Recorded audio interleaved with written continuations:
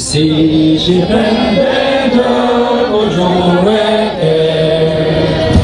tutte sambe no pena va, e te lo te piace giovane, ti le che rozo che dolce hope one day Tibet will be free like this, that I can stand on a stage and talk about freedom, talk about human rights, religious freedom, and not get arrested.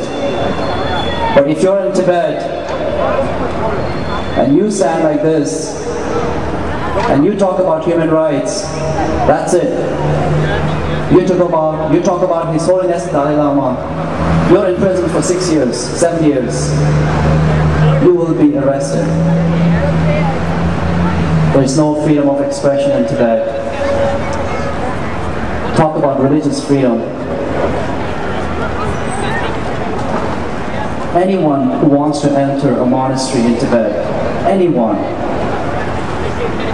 a person has to go through what they call patriotic re-education. Before entering a monastery, you have to denounce the Dalai Lama. You have to take this picture, throw it down, and stamp on it. You have to spit on that picture. And that is something no Tibetan can do it, let alone monks and nuns.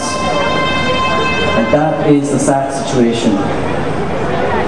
That being told to disregard, to denounce your greatest teacher, that that is not respecting your teacher is the essence of Buddhism.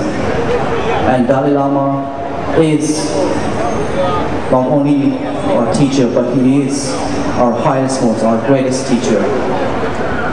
Si